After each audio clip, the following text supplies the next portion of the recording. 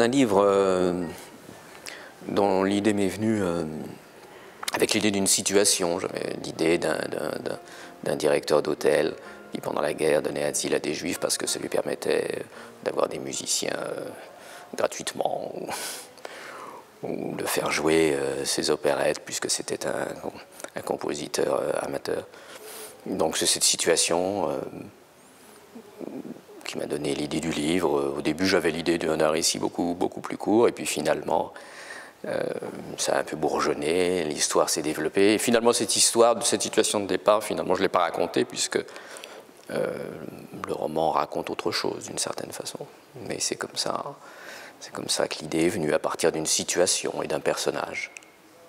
Il y a toute une série de conséquences logiques un peu, c'est-à-dire que Colmos, je ne voulais pas faire un roman historique, un roman qui soit trop prisonnier de la, réalité historique des choses, c'est pas ce qui m'intéressait, c'est pas un livre sur la Seconde Guerre mondiale ou un livre qui a des choses à dire sur, sur les événements euh, euh, de la Seconde Guerre mondiale, c'est un, conte.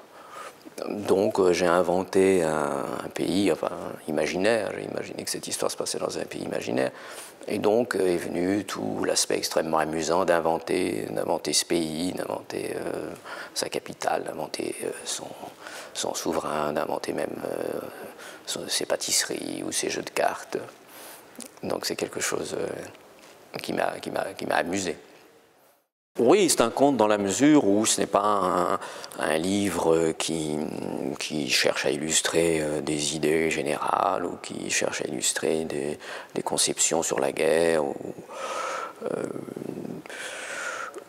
ce qui m'amusait aussi dans, le livre, c'est de, faire un, un, livre avec des choses qui sont d'une certaine façon un peu artificielles, qui ne sont pas forcément vraisemblables, mais de rendre ça euh, vivant, de faire que le lecteur euh, s'attache à cette histoire euh, et ressent les choses d'une façon extrêmement, extrêmement vivante et qui ne se pose plus la question de la crédibilité ou de la, vraisemblance.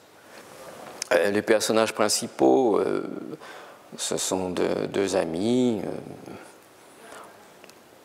dont l'un est directeur d'un hôtel, qui est plutôt un hôtel, un hôtel de luxe, qui est un personnage euh, un peu un peu snob. Enfin, ce qui m'intéressait dans ce personnage, c'est un certain type de caractère, c'est-à-dire des gens qui sont, qui sont extrêmement, extrêmement, qui, ont une forme d'énergie, qui sont extrêmement gais. Et cette gaieté a quelque chose de, de, de charmant, enfin quelque chose d'énergique, ça leur donne une certaine allure, même un certain courage. Mais en même temps, il y a dans cette gaieté une forme de, de dureté un peu, ou, d'indifférence, ou de, cruauté. Donc c'est ça qui m'intéressait chez ce personnage, c'est ce mélange de, de gaieté, de, de cruauté euh, inconsciente, mais de cruauté tout de même. Et puis son, son ami, son meilleur ami, bon, c'est un personnage, euh, au contraire, qui est un personnage beaucoup plus intériorisé, beaucoup plus solitaire, euh, qui lui vit uniquement sur lui-même, on pourrait dire. Donc c'est un couple euh, voilà, opposé de façon un peu, classique.